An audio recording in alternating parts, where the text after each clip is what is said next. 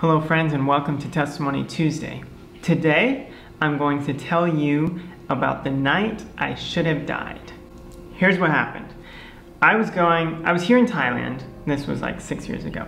I was here in Thailand and I was going with my friend Travis to go visit his school and I was going to make a promotional video about his school.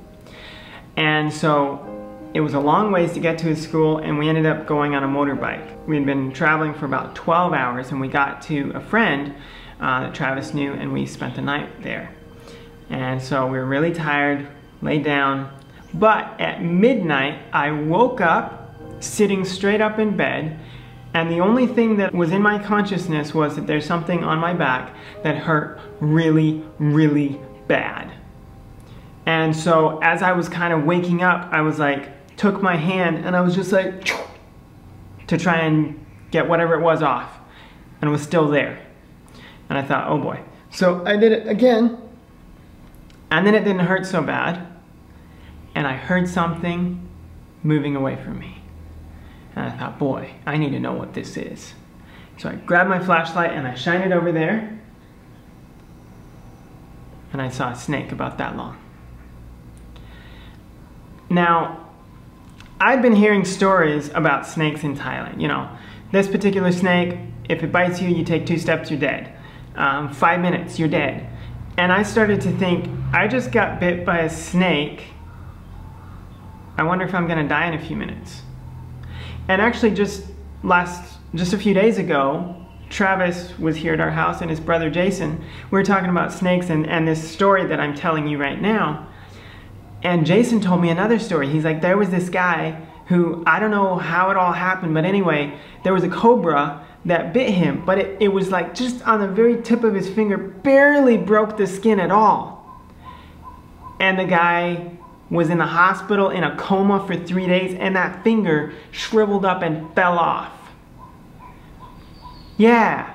And then we started looking up and like the king cobra, if that snake bites you, it has enough venom to kill 20 men or one elephant. Okay, that gives you sort of a picture of what we're playing with here with snakes. This is not a joke.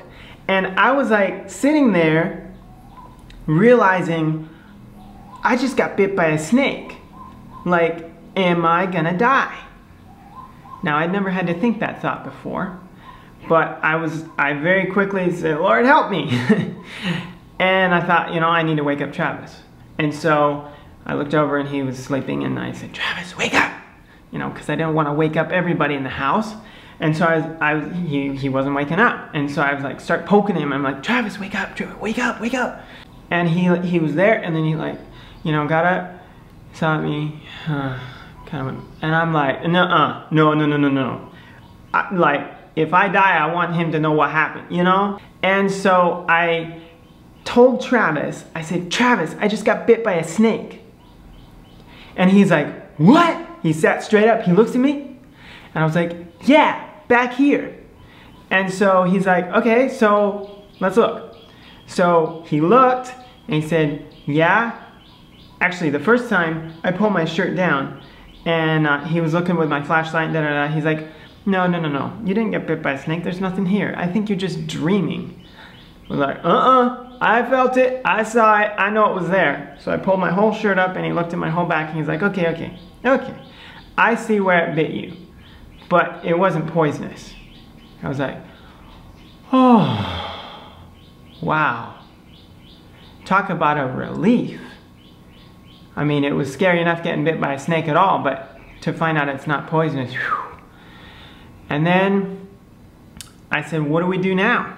And Travis was like, go back to sleep? yeah, well, I had a little too much adrenaline to just go back to sleep. But anyway, Travis, he, he looked under his mattress, because we were just laying on mats on the floor. He looked under his mattress and make sure there were no snakes there, and I looked under my mattress. And I'd gone to the other side of the room where the snake went to try and find it and see if it was still there and, you know, kill it. Uh, but I, I never found it. And so Travis went back to sleep. It took me a while.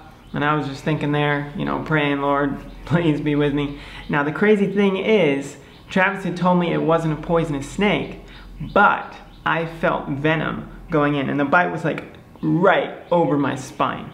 And I felt it going in. It felt like a bee sting. You know how you can it's like a needle right in. I just figured, you know, it's kind of freaky getting bit by a snake. It's probably just in my imagination. So I go to sleep. Next morning I wake up. And my first thought was, I'm alive. Praise the Lord, this is good. And I never thought that when I woke up, you know, I never had to think that. And so when Travis woke up, I'm like, hey, you should take a look at my back and see what you see. And so he looked at my back and he kind of sat back and he looked at me and he said, you know what I see? I said, what do you see? He said, I see two fang marks. That means it was a venomous snake. And I was like, what? You mean to tell me that I got bit by a venomous snake last night and I'm alive? How is that? And you know, for about 12 hours after that bite, I would feel that sharp pain like the bee sting every so often. There was no swelling, there was nothing else negative, you know, just in my body about that. But I knew right then that Satan had tried to take me out. This was not just a random snake. Satan was trying to kill me before going to Travis's school to make those videos. And sure enough, we went, we made those videos, got really blessed, and it has been a huge blessing for God's work here. But I always wondered what kind of a snake was that? And so I was looking through this book that had all the snakes in Thailand. And I was looking through all of them and I looked through it and there was only one that looked like it could be it, you know, because I just saw the snake for just a second and it was gone. So I, I looked and the one snake that looked like the one that bit me was a cobra. It wasn't a king cobra, but it was one of the other cobras. And I thought, man, you know, I really, really should be dead right now. If it wasn't for God's protecting hand over me, I would absolutely be dead right now. You know, that gives you a sort of uh, assurance that God has a plan for your life. Like, I know my existence right now is not an accident. God saved me from certain death. I don't know what's around the corner. I don't know what's going to happen tomorrow or next week or next year. I don't know, but I know who knows. And I know that He's taking care of me and that He has a plan for my life. And you don't have to have a cobra bite you to know that God has plans for you. In Jeremiah 29, I believe it's verse 11, it says, For I know the thoughts that I think towards you, thoughts of peace and not of evil, to give you an expected end. God has a plan for you. He wants you to be in heaven. And He wants to use you to help other people be in heaven too. The question is not, will God use you? It's the question is, will you be used by God? Today and every day, I choose to give myself to God again so that He can use me because He's got a plan for my life. And I want to encourage you to do the same because God has a plan for your life just like He does for mine. God bless you. We'll see you next week.